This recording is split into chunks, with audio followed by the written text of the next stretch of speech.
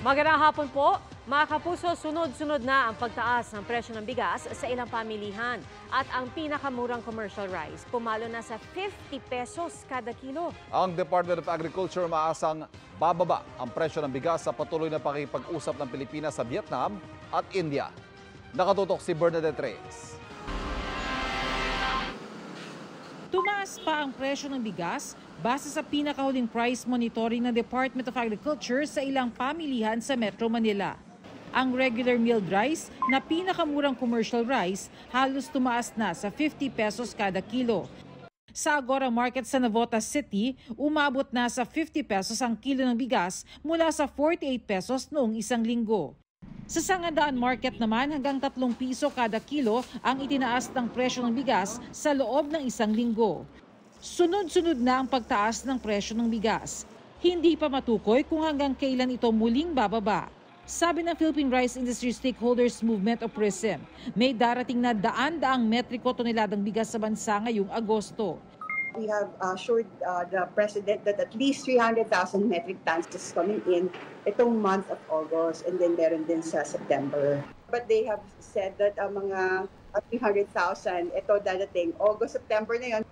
Pero hindi matukoy ng PRISM kung makatutulong ba ito para mapababa ang presyo ng bigas. Yun ang um, challenge talaga, ang presyo. Dahil nga nag-shoot up yung presyo sa merkado, sa world market no sila. Dahil ang India kasi, nung nag-export ban sila, 40% ng, um, ng supply ng buong mundo nang gagaling sa India. Ang Vietnam nangako raw magbebenta ng murang bigas sa Pilipinas ayon kay House Speaker Martin Romualdez. Sabi naman ni Agriculture Senior Undersecretary Domingo Panganiban, inaasahang bababa ang presyo ng bigas sa bansa sa patuloy na pakikipag-usap ng Pilipinas sa Vietnam at India. Pero para sa Federation of Free Farmers Cooperative, hindi raw maaaring panghawakan ng salita lang. that is uh, just a diplomatic chit chat, no? Uh, of course, they will supply because they need to sell their surplus, no?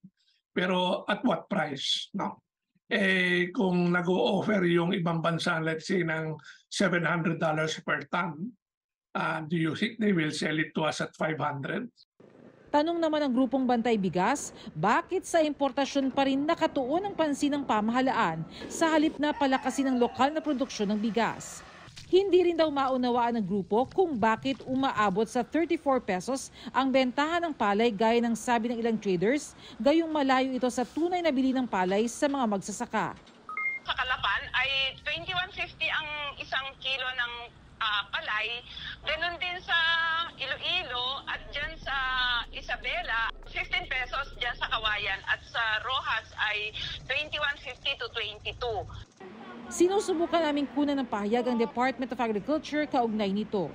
Para sa GMA Integrated News, Bernadette Reyes, nakatutok 24 oras. Matapos ang limang sunod-sunod na taas presyo sa petrolyo, isa pang big-time oil price hike ang nakaambas sa susunod na linggo. At sa tansya ng isang oil industry source, tataas ng 1 peso and 60 centavos hanggang 2 pesos ang kada litro ng gasolina. Habang 1 peso and 20 centavos hanggang 1 peso and 60 centavos per liter naman sa diesel. Sa datos ng GMA Integrated News Research, kabilang ang tinatayang taas presyo sa darating na linggo, nasa 7.85 pesos na ang price increase sa gasolina sa limang sunod-sunod na linggo ng taas presyo. At nasa magit 12 pesos naman sa diesel na tataas sa ika-anim na sunod na linggo. Para pababain ang presyo, nanawagan ang Makabayan Block at ang United Filipino Consumers and Commuters na alisin ang excise tax at VAT sa petrolyo. Bukod sa mga motorista, malaki rin daw ang epekto nito sa iba pa dahil sa domino effect ng oil price hike. Tanggalin po ang expanded value-added tax na 12% sa petroleum products. Number two, um, itong tax reform for acceleration and inclusion, uh, meron tinatawag itong petroleum excise tax. Sa kombinasyon po ng 12% EVAT at itong uh, excise tax sa, ng train law sa petrolyo, malaking bagay po yan kapag yan ay natapyas. Sinusubukan namin kuna ng pahayag ang Energy Department kaugnay nito. Sa ibang balita, bukod sa tama ng bala sa ulo, May tama rin sa kamay si Jemboy Baltazar na ayon sa isang forensic pathologist ay tanda na sinubukan niyang depensahan ang kanyang sarili. Posible rin daw na nailigtas pa ang binatilyo kung hindi siya nahulog sa ilog. Nakatutok si Jonathan Andal. Nagtirik ng kandila si Rodaliza Baltasar sa lugar kung saan napatay ng mga pulis na botas dahil sa maling akala ang labing pitong taong gulang niyang anak na si Jemboy. Dito para raw niyang nakakausap ang anak. Siguro sumbisi ko siya mama, mama. Ayoko pa mamatay. Sa Miyerkules, ililibing si Jemboy sa Laloma Cemetery. Sa Martes naman, maghaharap na raw sila sa piskalya ng anim na pulis na sangkot sa pagkamatay ng anak. Nangangamba rin daw si Rodalisa para sa kanilang seguridad dahil may ibang pulis pa raw ang kasama noon sa operasyon batay sa kwento sa kanya ng mga nakakita. Panawagan sa mga nakaka, nakakita o nakaano sa nangyari kay Jimboy. Sana tulungan nila kami na kami pamilya na na maano yung katarungan ni Jimboy. Batay sa autopsy ng forensic pathologist si Dr. Raquel Fortun, dalawang tama ng bala ang tinamo ni Jemboy. Isa sa ulo, pumasok sa likod ng kaliwang tenga at lumusot sa ilong. Isa naman sa kanang kamay. Yung kamay, because of the location, is what we call a defense-type injury. And I heard accounts that he held his hand up uh, in surrender, and that is, you know, a defensive stance. Batay sa death certificate, tama sa ulo at pagkalunod ang ikinamatay ni Jemboy. Tingin ni Fortun kung hindi nahulog sa ilog si Jemboy, posibleng nailigtas pa siya. Sa lunes, susuriin muli ni Fortun ang utak ni Jemboy at magsasagawa ng histopathology. Gumawaan niya sana ang pulisya ng shooting reconstruction para mas maintindihan kung paano binaril at napatay si Jemboy. Sa news accounts, may mga nakikita na akong conflicting uh, versions. Okay? Kesyo, nahulog na daw sa tubig, tumalon daw siya sa tubig at pinagbabaril sa tubig. Teka muna, parang asintado daw eh, nasa ulo talaga eh. And nasa kamay talaga. Totoo ba yan? Kasi kung blindly nagpaputok ka sa isang tao na nasa tubig, ah, the chest actually is a bigger target. Wala kaming nakitang balang na iwan sa body. Lusutan talaga through and through yung dalawang tama niya. Sabi ng hepe ng Navotas Police, walang nakitang basyo ng bala sa crime scene ng investigador. Sinubukan din daw itago sa kanya ng mga operatiba ang aniyay palpak na operasyon. Inabot nga raw ng tatlong oras bago ito naipaalam sa kanya. Sinibak na sa pwesto ng Northern Police District Director ang mga tauhan ng Navotas Police Substation 4 na kinabibilangan ng mga namaril na pulis para sa retraining. May sariling investigasyon ng CHR na umaasa na bukod sa ustisya, magkaroon din ng reforma sa PNP para maiwasang maulit ang ganitong insidente. Maghahain naman ng resolusyon sa Kamara ang Kabataan Party List para sa mabilis at patas na investigasyon sa pagkamatay ni Jemboy. Para sa GMA Integrated News, Jonathan Andal, nakatutok 24 oras. Nagkaroon po ng pagbaha sa Kidapawan City. Nahirapan ang ilang motorista dahil sa malakas na buhos ng ulan. Inulan din ang ilang bahagi ng Ormoc City. Ayon sa pag-asa dahil ito sa hanging habagat at localized thunderstorms magpapaulan din bukas. Base sa rainfall map ng Metro Weather, umaga pa lang may pagulan na sa Palawan at Bicol Region. Pagdating ng hapon, uulanin na rin ang ilang bahagi ng Quezon at Central Luzon. Asahan din ang mga pagulan sa malaking bahagi ng Visayas. Halos buong Mindanao naman ang ulanin simula sa hapon. Ganun din sa ilang bahagi ng Metro Manila. Nagsuntukan ang isang barker at isang konduktor sa, ng modern jeep sa labas ng isang mall sa Iloilo City. Pati ang iba pang barker, nakisuntok na sa konduktor. Ayon sa kooperatiba ng modern jeep, tutol daw ang mga barker na kumuha ng mga pasahero ang mga modern jeep sa lugar kaya nagkainitan. Wala pa ibinibigay na pahayag ang konduktor. Magsasapa ng reklamong kooperatiba sa mga barker. Sinisika pa naming makunan sila ng pahayag. Bisadong paulit-ulit na pagbabayad ng isang lalaki ng peking pera sa Tagig. Ang suspect nagpakilala pa umunong tauhan ng Philippine Army. Nakatutok si Bon Aquino. Hulyo ng unang nabiktima ang tindang ito sa barangay Fort Bonifacio, Tagig matapos bumili ng suspect na si Kevin Johnson Shaw ng isang kahang sigarilyo. Pag-alis ng suspect, tsaka na lang daw natuklasan ng tindera na peke ang isang libong pisong ibinayad sa kanila. Nasuklian pa ito ng 820 pesos.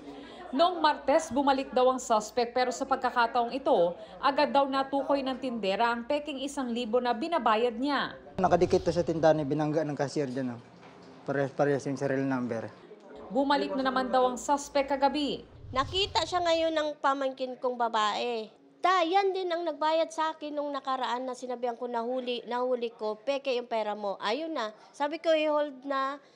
Agad naman daw dumating ang mga taga-barangay at dinala nila ang suspect sa presinto. Nakita natin uh, almost 10,000 worth ng mga counterfeit na money. Ang mga peking pera, play money pala. Naghabal ako sir, tapos pumunta ako doon sa sabungan. Tapos nung yung tao na yun na sinakay ko pang nagpahatid sa Pasig sir, binigay din niya sa akin yan. Nakumpiska rin ng mga pulis ang peking AFP ID ng suspect. Iba ang pangalan pero litrato ng suspect ang nakalagay dito. Positive yung information ng uh, namatay na yung nasa ID. Ayan po ma'am, souvenir po yan ng classmate ko ma'am. picture mo yung nakalagay? Magkamukha kasi kami noon ma'am. Nang arestuhin, nagpakilala raw ito bilang miyembro ng Philippine Army. Pero nang i-validate ng mga pulis, dismissed ito sa serbisyo. Maharap ang suspect sa mga reklamong illegal possession and use of false treasury or banknotes and other instruments of credit at usurpation of authority. Para sa GMA Integrated News, Von Aquino nakatutok, 24 oras. Magkasamang nag-inspeksyon ang Bureau of Immigration at Philippine Coast Guard sa reclamation site sa Pasay City. Bukod sa pagsiguro na natigil ang mga operasyon, nais ding matiyak na legal ang mga dayuhang nagtatrabaho sa lugar. Nakatutok si Katrina Son. Ilang araw matapos ipatigil ni Pangulong Bongbong Marcos ang aktibidad sa reclamation areas sa Maynila, mahigpit pa rin ang pagbabantay ng Philippine Coast Guard. Nasa 50 to 60 na PCG ang nakastandby at nakatutok para masiguro na masusunod ang pansamantalang pagpapatigil sa reclamation sa lugar. Mga magdadala lang daw ng mga supply ng pagkain ng papayagan. Wala po tayo makitang movement ng mga vessels na engage sa reclamation projects. And also, uh, even before nga na-release yung uh, formal document na declaring yung suspension ng reclamation, these companies uh, in, uh, in advance po na sila ng PRA, so they have already suspended their operations. Kahapon, kasama ang PCG, nag-inspeksyon ng Bureau of Immigration sa mga dredging vessels sa mga reclamation sites sa Pasay City para raw masiguro na sumusunod sa immigration law ang mga manggagawang foreign nationals. Sabi ni BI Commissioner Norman Tansinko, kailangan kumuha ng work visa o permit ang mga foreign national na nagsasagawa ng commercial activities sa bansa. Mula kahapon, tatlong vessel na ang nainspeksyon ng BI. Ang MV Mahua na may labing apat na Chinese nationals at walong Filipino crew. MV Lianglong na may labimpito na Chinese nationals at dalawang Filipino crew. At MV Junhai 5 na may dalawamputwalong Chinese crew. Patuloy naman ang pag-aaral ng Philippine Reclamation Authority o PRA kaugnay sa ipinahintong proyekto. The President right now is exercising his right to review. Pero po yung tama po kayo, uh, this is to mitigate the effect. Titingnan nila, re-repasuhin nila ano ba yung medyo mali kung bakit ganun ang dating ng reclamation sa mga tao. Para sa GMA Integrated News, Katrina Son, nakatutok 24 oras.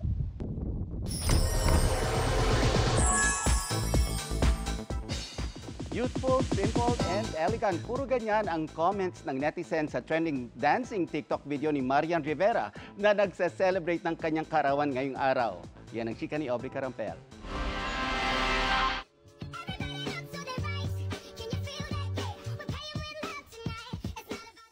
Slay kung slay si primetime queen Marian Rivera sa kanyang entry sa Price Tag TikTok Challenge. Pinuri ng netizens ang smooth na galaw niyan na naka-streetwear outfit at cap. Trending ang video na yan ni Marian na pinost niya on the eve of her birthday at may more than 30 million views na. Bumuhos din ang birthday greetings para sa 39th birthday ni Marian. Sabi ng kanyang mister na si Ding Dong Dantes, every moment with Yan daw ay isang graceful dance that never misses a beat. Shinare din ni Dong ang isang video ni Zia na kumakanta sa birthday celebration ni Yan kanina. May family portrait ding regalo sa kanya ang isa sa kanyang close friend na si Bubay. Kahapon, may special birthday treat din si Yan para sa cast at production team ng kanyang upcoming GMA Family Series na Against All Odds.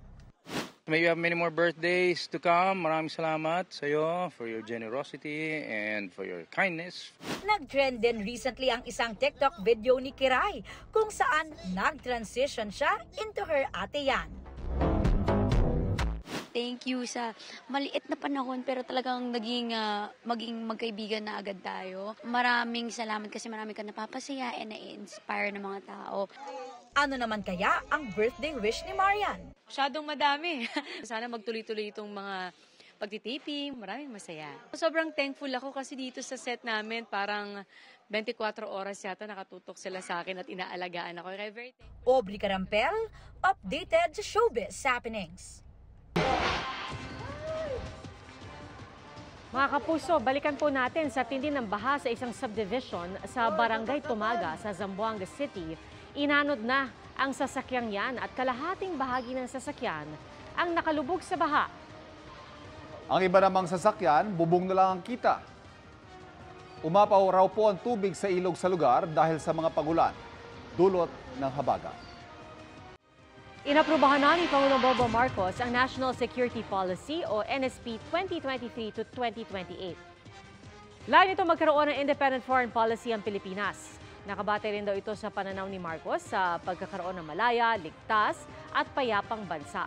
Sa ilalim ng Executive Order No. 37, inaatasan ng lahat ng ahensya ng gobyerno, kasama ang mga government-owned and controlled corporation na GOCC at mga LGU na gamitin ang naturang polisiya. Kabilang dyan ang pagbalangkas at pagpapatupad ng kanilang mga estratehiya at programang may kinalaman sa seguridad. Hinikayat din ang pagpapatupad ng NSP sa lahat ng sektor. Layon daw nito gawing isa ang hakbang ng lahat sa pagtugon sa mga isyong pangseguridad ng bansa. Magbibigay naman ng technical assistance ang National Security Council at magmomonitor din sila katuwang ng National Security Advisor para matiyak ang pagpapatupad ng NSP sa lahat ng ahensya at tanggapan ng gobyerno. Hinikayat ni Senador Rafi Tulfo ang agarang pagpapatupad ng resolusyon nagbabawal sa National Grid Corporation of the Philippines o NGCP na ipasa sa mga consumer ang 3% franchise tax nito. Katumbas ito ng nasa isang sentimo kada kilowatt hour na bawas singil sa bill ng consumers. Ayon kay Senador Tulfo, dapat maipatupad ito agad para hindi na pasanin ng consumers ang tax na hindi naman dapat nila binabayaran. Iniling niya sa nakaraang public hearing sa Energy Regulatory Commission na bawiin ang pagpayag nito noong 2011 na ipasa ng NGCP sa customer ang franchise tax. Pagtatama lang po sa ulat ng 24 oras kahapon, si Senador Tulfo ang chairman ng Senate Committee on Energy. Pinasok ng dalawang armadong lalaki ang tindahan na yan sa General Santos City. Walang kaabog-abog nilang dinukwang ang mga estante kung saan nakalagay ang mga tindang cellphone. Pinaglalagay nila ito sa eco bag, sabay eskapo. Base sa investigasyon, mahigit isang milyong piso ang halaga ng mga ninakaw na cellphone. Ayon sa pulisya, posibleng may inside job sa krimen. Patuloy ang investigasyon. Naudlot ang pagre-retiro ng isang empleyado ng MMDA dahil sa mahigit isang libong piso umanong bayarin niya sa cellphone na inisyo ng ahensya. Naresolba na kaya yan? Alamin sa Sumbungan ng Bayan.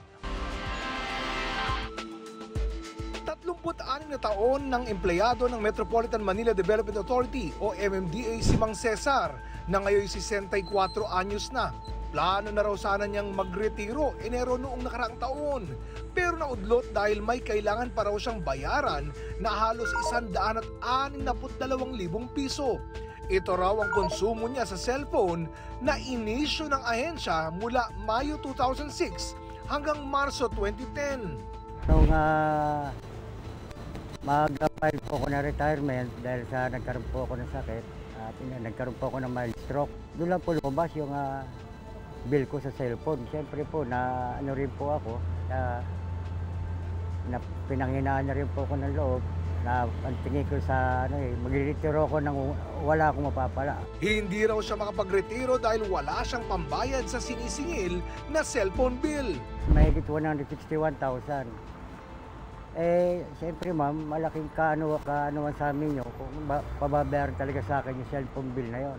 Eh, magkano lang naman po makuha ko sa retirement. Ayon sa pamunuan ng MMDA Administrative Service, pwede raw hilingin ng mga gaya ni Mang Cesar na i-waive ang pagbabayad sa kanilang cellphone bill. Kailangan lang nila magpasa ng sulat sa kanilang opisina at dadaan sa proseso ang pag-aproba rito. Maayos na mo pinaliwanag ma'am sa akin na lahat ng ano po ma'am, eh, pwedeng may-waive. Marami na rin daw po ang nakapag-waive na aproba ng waive yung sa cellphone. Pwede na rin daw nilang pagulungin ang pagproseso sa retirement ni Mang Cesar sa darating na Oktubre. Kuya, nagpapasalamat sa tulong po ng ah, sumbungan ng bayan na naiparating sa pamunuan ng ano na yung problema po problema ko po tungkol sa cellphone bill. Para sa GMA Integrated News, Oscar Oida, nakatutok 24 oras. Nanaksak dahil umano sa selos at isang nanghalay naman daw ng menor de edad sa inuman. Wala silang takas sa hiwalay na operasyon ng pulisya sa Laguna. At yan ang tinutukan ni John Consulta, exclusive. pagkakuha ng confirmation sa kanilang asset.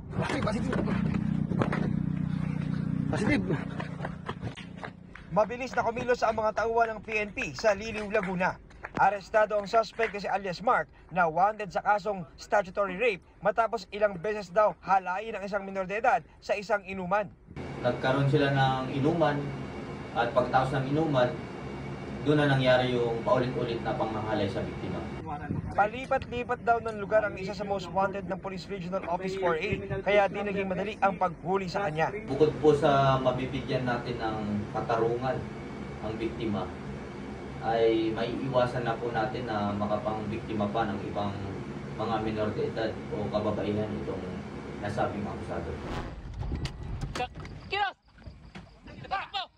Sa hiwalay na operasyon, arestado naman ng Los Baños Police ang isang half Japanese at half Pinoy na suspect na si Kenichi Tsuji, 26 anyos. Patakas na sana ang suspect ng maaresto ng pulis, makalaan niyang pagsasaksakin ang isang lalaking biktima na nakita niyang kausap ang kanyang nobya.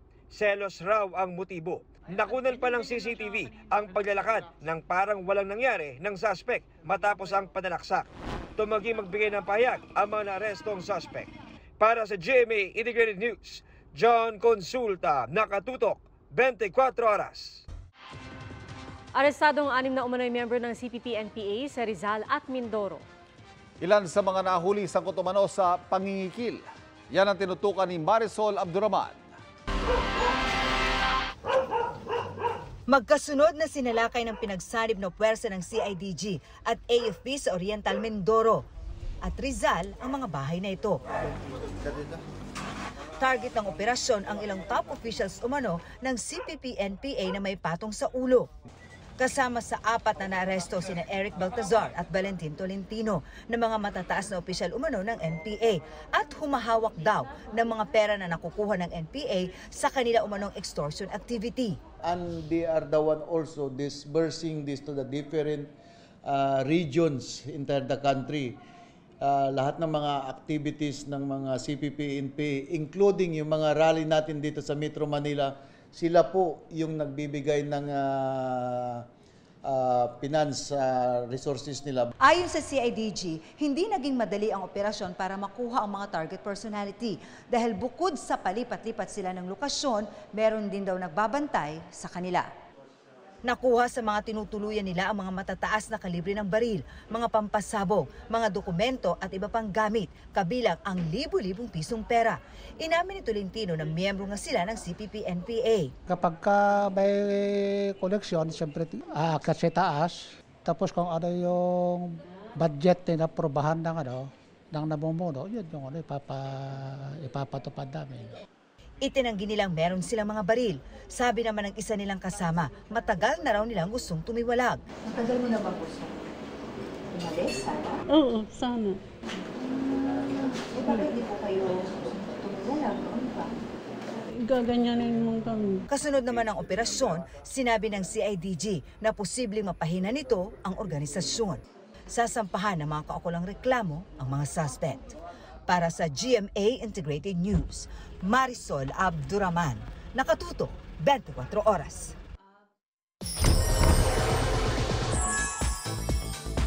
Umani ng milyong views sa YouTube ang remix version ng SB19 sa kantang Golden Hour ni Jake. Ang tanong, sino naman kaya ang next na makaka-collab ng Kings of Pinoy Pop? Yan ang chika ni Katati Bayan. May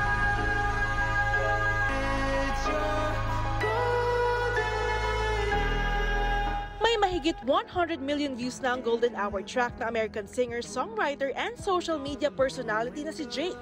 Bukod sa tila TikTok anthem ito ng mga magkasintahan, mahilig din makipag-collab si Jake sa ibang artists. Wherever my finger lands, I'm gonna find an artist from that country to feature on my song. Pilipinas ang napili niya at nadiskubre niya ang Kings of P-pop, ang SB19. who do the people love in, in the Philippines? And SB19 just kept popping up everywhere. And, um, you know, it was just like, these guys seem so sick. And then I started listening to their music and watching their performances and truly was just so impressed. Nag-enjoy raw ng husto ang SB19, lalo na si Pablo dahil daw sa creative freedom na binigay sa kanila ni Jake sa pagsusulat ng remix. It was a great experience po kasi um, e- even though it's our first time, it I was actually stunned because you know uh, when I heard about the song Golden Hour, you know before it blew up, I was listening to his songs. Dream come true for us. Tinatak ni Pablo sa kanta ang style ng Pinoy sa panliligaw, ang harana. I was torn if I was going to write it in English, but I kind of decided to write it in Filipino to showcase the Filipino, the beauty of Filipino language. I even wrote lyrics like Tinola at first, and I had to um revise it because it's too comic. Inimbitahan pa nga ng SB19 si Jake na bumisita sa Pilipinas at mag-perform ng Golden Hour together. Given a chance, pasasayawin daw nila si Jake ng kanilang latest hit na Gento. excited to maybe uh, perform this song in the future. Uh, maybe wi- of course with Jake personally, and of course, uh, well, I'm I'm glad to entertain you when you visit the Philippines. I want to travel the world and definitely Philippines is on the top of the list. Posible naman kayang ma-extend ang pagtatag world tour o magka-homecoming concert ang SB19? there is something to look forward and dapat abangan. Since nasabi na ni Miss Dara yung about doon, um, mas na-excite kami pag nabigyan na kami ng go signal palalo kung ano pa pa pwede naming sabihin. So yeah, but right now, we're, yeah, more collabs and Katatibayan updated sa showbiz happenings. And that's my chika this Saturday night. Ako po si Nelson Canlas. Pia, Ivan? At mga kapuso, yan po ang mga balita ngayong Sabado. Ako po si Pia Arcangel. Para sa mas malaking misyon, para sa mal- mas malawak na paglilingkod sa bayan. Ako naman si Ivan Mayrina. Mula sa GMA Integrated News, ang News Authority ng Pilipino. Nakatutok kami 24 oras.